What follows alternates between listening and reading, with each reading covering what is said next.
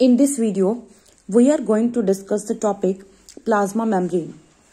So, if we talk about its introduction, what the plasma membrane is. Plasma membrane is uh, basically the living membrane around the cell which forms the barrier that separate the cytoplasm of a cell from its external environment. Also, the plasma membrane defines the physical and the chemical boundary of a cell. Plasma membrane and the organelles membrane are mainly composed of lipid bilayer. It is composed of a bilayer of phospholipids in which uh, in when uh, in which the lipids and the proteins are embedded. Alternatively, it is also known as biomembrane or cell membrane. Uh, the major portion of the plasma membrane is a lipid and in the minor amount protein and carbohydrates are also present. If we elaborate it structurally, then this is the structure of plasma membrane which was given by Singer and Nicolson in 1972 as a part of their fluid mosaic model. Fluid mosaic model which was given by Singer and Nicolson in 1972. In this model they uh, elaborated the structure of plasma membrane. As we can see in this structure, the uh, plasma membrane is mainly composed of the lipid bilayer.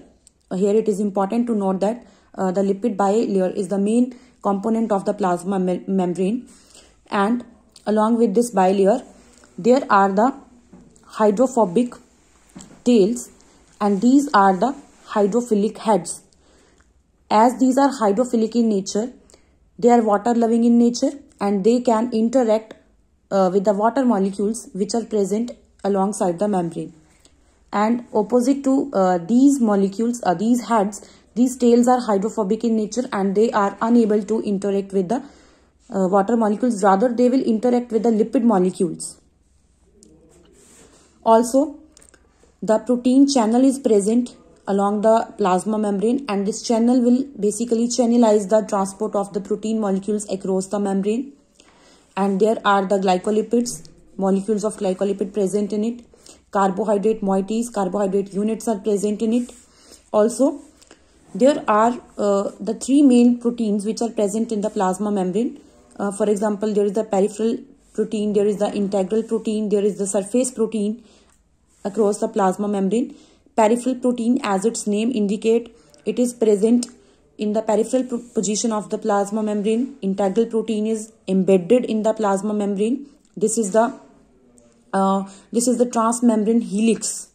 It indicates the transmembrane helix of the integral protein and along with that there are the surface proteins and sterol molecules which are present in the plasma membrane now if we talk about the important properties of the membrane it is selectively permeable.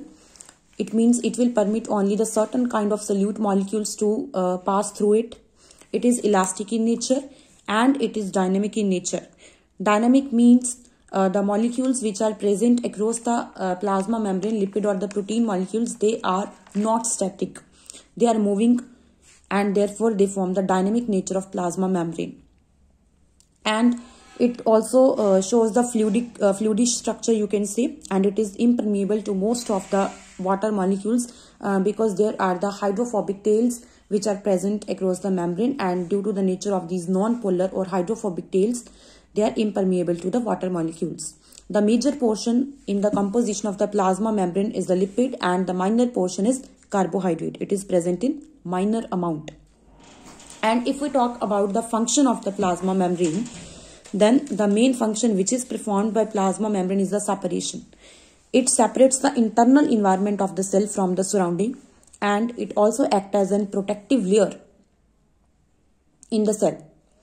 If we talk about the permeability, it is selectively permeable and it helps in the transportation of important molecules. And as a part of transportation it also helps in the communication cell to cell communication and signaling cell signaling. And as a part of cell signaling it helps in the cellular adhesion. When the two cells adhere with each other for the communication as a part of the communication the plasma membrane is involved in this process and it also helps in the formation of the junctions. Cellular junctions are formed during the cell to cell communication which uh, which are formed with the help of this plasma membrane